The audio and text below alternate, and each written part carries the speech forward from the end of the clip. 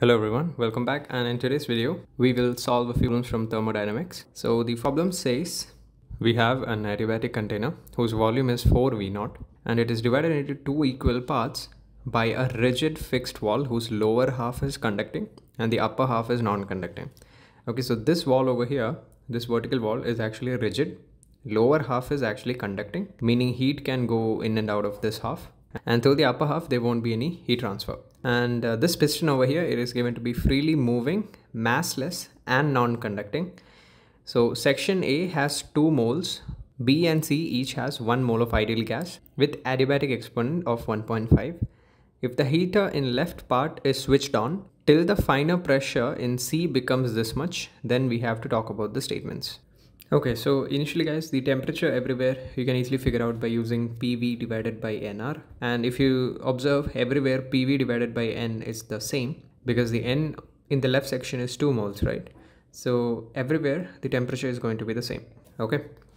So this is how the initial state is looking like. So now the heater is about to provide some heat to the gas in section A now as and as the wall cannot expand, the and the heat will increase the internal energy of gas A, meaning the temperature here will increase. Now if you consider any two points across this conducting wall over here, the temperature in section A is as it is greater than the temperature in section section C uh, and there will be heat transfer from section A to section C. Remember guys, this wall was still non-conducting so no heat transfer will be happening from A to B. Now as heat is being given to the section C, what's going to happen is the pressure of the gas present inside is going to increase. Some of the heat will go to increase the internal energy of gas C and some of it it will utilize to perform some expansion work. Let's say the piston displaces by a distance of x okay now guys uh, throughout the process if you observe something the the net heat transfer to the section b let's call it qb is actually zero right? Because the container itself is thermally insulated and this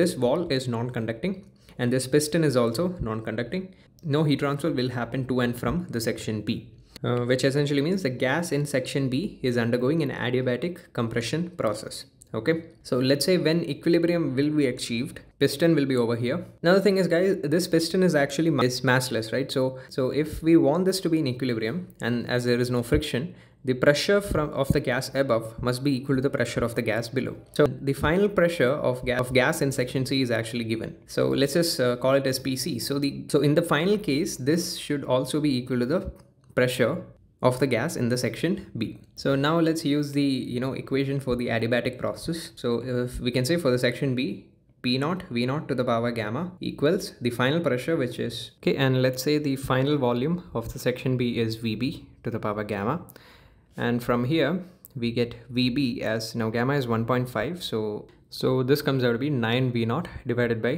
25. So if you observe initially the volume was V naught and finally it is 9 by 25 V naught. So the volume of the section C increased by a value of 16 V naught by 25. So the volume of the section C is going to be 16 by 25 V naught plus V naught which comes out to be 41 divided by 25 V naught. So now uh, in one of the questions we needed the final temperature of the section C so as we know the pressure and volume, we can figure that out. So now by using ideal gas equation, PC multiplied by VC, I can write it as the number of moles into R into TC. So this comes out to be 205 divided by 27, P naught V naught by R. So that is option C. Also guys, this section of the wall is given to be conducting, meaning whenever there is a temperature difference between section A and section C, Heat transfer from section A to section C quickly brings the temperature difference to zero.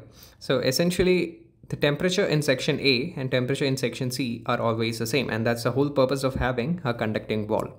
Okay, so this is also the temperature of the section A in the final state and therefore option A is also correct. Now for the section B, we can again use PV equals nRT.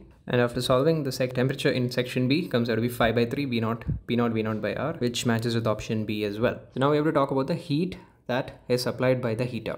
So if I consider A, B and C to be my system in this case, then some heat Q enters the system from the heater and as the boundaries of the system is not movable, right? It's a rigid body. We can say that the heat only changes the internal energy of the system. So the ad advantage of taking the entire thing as a system is, let's say you took this part as your system. So yes, there is a heat entering Q, but there's a heat leaving to the section C, Q dash. Now again, Q dash will do some boundary work plus increase the internal energy of the gas. So you have to write multiple equations if you want to solve that. But if you take the entire thing as the system, then we have one heat transfer term entering the system. And as there is no boundary work being done on the system, meaning the walls of the container aren't moving using first law, we can just write Q equals the change in internal energy of the system. Now to write the change in internal energy, we need the CV of the system, right? And CV is actually the ideal gas constant divided by gamma minus 1, which comes out to be 2R. So we have the final temperatures of all the sections. If you observe something, the delta T for section A and section Are the same so we can include their moles together. So A has 2 moles C has 1 mole. So N will be 3 into CV which is 2R into delta T which is T final minus T initial. T initial is P naught V naught by R. And for the section B it is going to be 1 into 2R times delta T. And after solving this comes out to be 368 by 9 P naught V naught which is option D. So the answer to this question is A B C D